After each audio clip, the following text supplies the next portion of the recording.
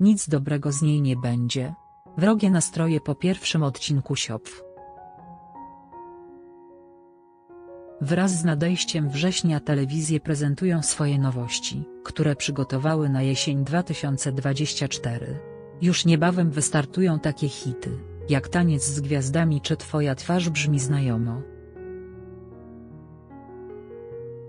Póki co widzowie mogą śledzić chociażby losy bohaterów ślubu od pierwszego wejrzenia. Ich nastroje są jednak wrogie. Co im się nie podoba?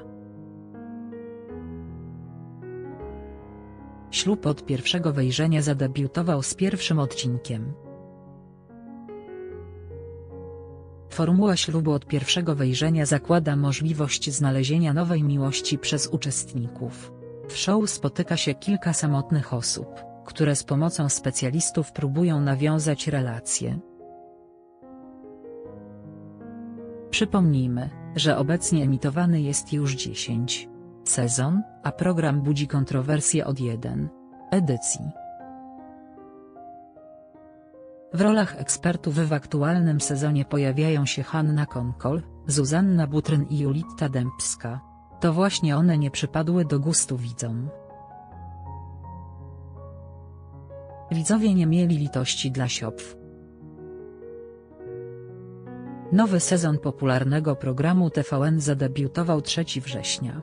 Widzowie mieli wówczas okazję, aby poznać bohaterów i zobaczyć w akcji ekspertki. To właśnie pod ich adresem pojawiła się masa niepochlebnych komentarzy. We wpisach internautów na oficjalnym profilu na Facebooku stacji możemy przeczytać. Ekspertka w czarnych włosach bardzo dominująca, na pewno nic dobrego z niej nie będzie. Co do ekspertek. Tragedia? To już nie to samo. Wygląda tak, jakby jedna z pań ekspertek decydowała o wszystkim. Nie słucha argumentów innych pań, tylko je przekrzykuje. Co widzowie sądzą o uczestniczkach show? Uczestniczki programu, czyli Agnieszka, Agata i Joanna dużo bardziej spodobały się widzom. Mam dobre przeczucia do tej edycji. Przez takie babciowe ustawianie komuś życia ta fajna dziewczyna do dzisiaj jest samotna. Babcia powinna kontrolować życie psa slash kota a nie wnuczki. Brigitte Jones jest identyko nawet za